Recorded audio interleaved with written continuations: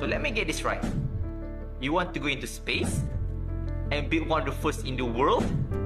Are you crazy? Tuah ayam nampak di kaki, tuah manusia siapa yang tahu. Ungkapan yang sesuai digambarkan buat trio pemuda tempatan ini. Mereka berjaya melakar sejarah dalam penciptaan teknologi stesen pengecasan tanpa wayar untuk kegunaan di angkasa. Pengasas Efilia Sendirian Berhad, Muhammad Razlan Damir Hamdan bersama dua rakan sepasukannya, Muhammad Muhammad Kamil serta Lee Kuo Rui, merupakan individu yang bertanggungjawab dalam penciptaan projek tersebut graduan lepasan UITM dalam bidang kejuruteraan elektrik dan elektronik ini telah menghasilkan teknologi itu sejak tahun 2017. Kejayaan demi kejayaan dicipta sehingga percaya memenangi pertandingan ciptaan teknologi peringkat kebangsaan di Sunway ILABS yang melayakkan mereka ke pertandingan Startup World Cup 2023 di San Francisco, Amerika Syarikat. two, one.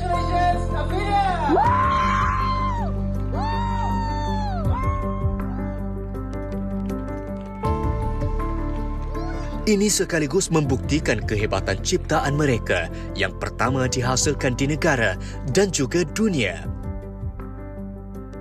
Lebih membanggakan, mereka percaya bekerjasama dengan syarikat angkasa di Los Angeles iaitu Astrolab yang menandatangani perjanjian dengan SpaceX bagi membangunkan teknologi itu di bulan.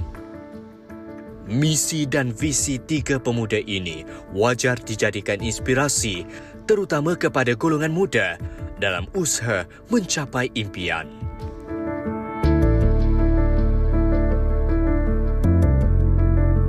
Wow, sangat memberi inspirasi sebenarnya eh kepada kita dan anak-anak muda ini sebenarnya belum lagi sampai 30 tahun. Eh, belum 30 tahun lagi Belum, ya? belum, masih lagi pangkal 2. Pangkal dua Masih lagi pangkal 2 dan mereka telah pun ada satu inovasi Ya. membuat something yang uh, boleh digunakan long term Aha. iaitu sistem pengencasan uh, pengencasan tanpa wire di angkasa lepas. Bila saya fikir itu kan, saya terus rasa macam, macam mana boleh dapat idea macam tu?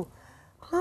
Tadi pentingnya ka- kami bawakan mereka ni, Adil. tapi bukan bertiga. Dua orang sahaja hari ini sebab seorang lagi ada di Amerika Syarikat. Ya. Jadi kita nak ucapkan selamat datang kepada Muhammad Razlan dan juga Muhammad sudi datang ke studio MHI dan nak untuk berkongsi dengan kami sebenarnya tentang kisah anda. Ha, bagaimana bertercetusnya idea untuk mencipta apa, si- sistem pengecasan tanpa wayar yang digunakan di angkasa lepas. Siapa bagi idea tu? Ha, mana datang idea tu? Ni Big Boss. Okey, bos, silakan. Ya, uh, pertama sekali terima kasih banyak kerana sudi menjemput kami dan dari segi idea tu saya punya latar belakang pun memang dah dalam bidang electrical, electronic engineering dan saya pun dah melakukan kajian dalam teknologi pengecasan tanpa wayar. Okay. Ha, cuma dalam masa yang sama sebab dalam industri angkasa dah jadi lagi terkenal, saya kami pun terfikir apakah teknologi ni digunakan untuk teknologi angkasa. Hmm. Ya, jadi itulah ceritanya. So itu start dia lah, starting point dia tu. Betul-betul. Jadi bila bila uh, awak daripada elektrik nak mencari orang-orangnya tu, ha, kuncu-kuncunya ha, Ya, untuk betul. geng-gengnya Yes. dalam me- memastikan perkara ini dapat ria- direalisasikan, bagaimana uh, timbulnya Muhammad dalam projek ini? Uh, macam mana kan kita tengok. Ah, lupa, lupa dah cerita. Dah lupa dah. uh, at that time, I think masa, masa tu, um, dia tiba datang approach saya. Dia kata macam, dia satu idea. And of course reaksi saya macam mana video tu awal-awal tu. Uh, macam kau gila ke apa kan. Oh, Ah, kredit macam- itulah dia. Ah, tak, ah, tapi tak tahu lah. Macam you pernah tak jumpa orang yang terlalu sangatlah I would say macam semangat dan percaya apa dia nak buat tu sampai you terfikir betul ke apa nak buat ni kan. Tapi at the same time you curious juga. Macam ni gila ke gila genius lah. nak, nak, nak tahulah kan. So from that uh, kita nak itulah kita try lah go for it sebab kita muda lagi tak kahwin lagi apa kan. So why not? Lagipun kita uh, there's nothing to lose for us kan. Mm-hmm. Uh, itulah that's why I decided to join I would say. Dan latar belakang Muhammad sendiri? Uh, business lah, international business. Si, dah ada dua dah, dah ada dua dah. Dia Okey. macam nak buat apa Italian job. Semua ada watak masing-masing. Watak masing-masing. Okey. Dan uh, katanya electrical eh sebenarnya yang dan Ya, berada di Amerika Syarikat sekarang Dia ambil bidang computer science. computer science. Memang Ah. betul lah, pandai lah dia cari kan. Ada perlukan pengacara TV? Of course. Dalam projek juga. Atau uh, bagian undang-undang saya boleh turut membantu. Ah, boleh. Okey, dan uh, bila mula-mula tercetus idea ini, bila awak kalau awak ingat awak bentangkan idea ini pertama kali, bukan untuk Muhammad, yeah. tapi untuk Ralola ya. Apakah reaksi mereka bila dapat tahu awak punya idea ini dan adakah mereka macam ha betul ke boleh? Hmm.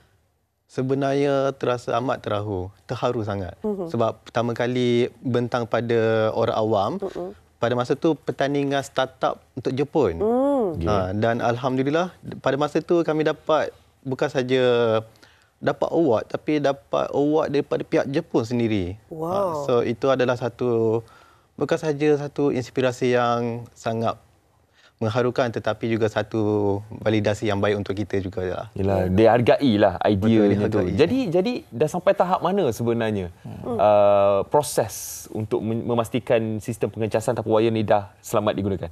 Hmm. Dah sampai tahap mana sekarang? So sekarang ni um, kami akan mengadakan demonstrasi teknologi kami dekat tanah dulu. Belum ke angkasa lagi. Belum lagi, eh? Belum Belum, lagi, lagi. Ha, so untuk yang tu insya-Allah sama ada bulan 3 atau bulan 4 dalam dalam masa yang sama juga sementara buat teknologi kami pun dah mula dapatkan customer-customer daripada luar negara. Oh, hebatnya. Belum belum siap tapi dah dapat customer tu memang oh, oh dipercayai. Orang kata trusted. Ha, tapi itulah bila satu idea tu luar biasa dan tidak pernah di, untuk saya sendirilah saya tak pernah dengar pun idea ni eh. Jadi ada tak juga kerisauan? Mesti ada cabaran hasilkan sesuatu yang luar biasa. Terlalu Okey, biasa, dah, dah kena kepala dah Muhammad. Muhammad, apakah cabaran awak rasa untuk menghasilkan uh, idea ini? cabaran dia antara satu satu benda of course uh, daripada segi kewangan lah uh, Okey. kewangan daripada segi mentaliti tu satu juga. Sebenarnya seramai orang uh, pandang rendah kepada kepentingan untuk kita orang kata resilient lah untuk buat benda ini. Sebab buat bisnes bukan mudah. Nak buat bisnes angkasa lagi lah bukan mudah. Uh, tapi alhamdulillah uh, so slow perlahan-lahan ramai mula percaya kami dan uh, terima kasih kami nak ucapkan terima kasih lah pada yang sudi uh, menerima kami lah. Uh, tapi uh, um, lagi tu kesusahan Tak ada cabaran lagi. cabaran ya. Hmm. Rasa senang je buat ni. Eh tak adalah. Tak, Itu bahagian bisnes. Eh, ini yang bahagian uh, manufacturing, Ah, ya, ya. electrical sebagainya macam mana? Sebenarnya Ha. kalau ada satu saja yang saya boleh bercerita, um, cara pembinaan teknologi itu sendiri sebenarnya berlainan sikit cara di dalam Malaysia dengan cara di luar negara. Hmm. Sebab kalau luar negara sebelum nak mula membina tu kena tanya jumpa dengan uh, customer-customer dulu. Okey. Betul ke ini apa yang apa yang saya buat um, adakah awak nak beli? Kena pastikan itu dulu. Sebab cabarannya adalah bila kita dah belanja duit, buat teknologi, sekali buat benda yang salah. Okey. Ha, itulah cabarannya. Oh, dia orang tak nak pula ya. Ha, Betul. Itu yang ditakutkan lah ya saya. Betul. Tapi uh, apa yang apa yang uh, anda dapat semua adalah sebelum siap tu dah dapat customer. Betul. Ha, okay. Dia kena dapatkan customer dulu. Hmm. Sebab uh, nak membina teknologi ni sebenarnya ambil masa yang lama. Ya. Dan juga uh, apabila lama contoh dah buat 3 tahun hmm. buat benda salah. So duit pun dah habis, masa pun dah habis. Yeah. Sementara tu kompetitor lain pun dah bina teknologi yang betul dah. Lagi advance pula benda tu. Betul. betul. Which um, lead to lagi satu cabaran baru. Kita ni bersaing dengan orang luar negara. Betul. Macam mana kita boleh dapatkan kepercayaan? Mm-mm. Kami punya kompetitor sendiri ada seorang join kami sebagai penasihat. Oh. See? Itulah orang panggil SWOT. SWOT tadi. Threat dah jadi strength. Yes, yes. Tapi okay. memang tak expected lah benda tu macam sebab that time uh, kira orang yang disebut tu adalah kompetitor terbesar kami di dunia. Wow. Ah, Ini ya. Dah jadi dah jadi gang. jadi advisor kami lah. lah. Dia berhenti kepada syarikat sebelum tu and dia jadi advisor kami. Sebab dia kata apa yang kami buat adalah jalan yang betul lah bagi dia pendapat dia. Okay. Which is kita kena tahu apa customer perlukan baru kami bina teknologi uh, instead of terus bina and then baru cari customer. Jadi itu pentingnya dapat uh, guidance akhirnya yang Ya, betul, betul. ya. Okey, jadi mungkin anda berdua sekarang ni boleh memberikan nasihat kepada anak muda sana yang macam ada impian untuk melakukan sesuatu yang luar biasa. Ah, silakan. Diinspirasikan oleh semangat Hari Mamalaya dalam dunia bola sepak. Sama juga apa yang kami belajar apabila mewakili Malaysia di Startup World Cup uh, baru-baru ini, semua orang Malaysia ni sebenarnya sangat hebat. Sangat hebat. Cuma satu saja, kita ada pemikiran yang menghadkan diri sendiri. Siapalah kita? uh, kita hanya orang Malaysia saja. Adakah orang luar nak pandang kita? Ya. Sebenarnya mereka nak pandang kita. Cuma kita kena beranikan diri, Mhm. uh, letakkan kepercayaan kepada diri sendiri, usaha takwa mulia. Uh, Wah, Masya macam dekat Allah. lencana sekolah. UiTM. Itu memang sekolah punya. UiTM tu.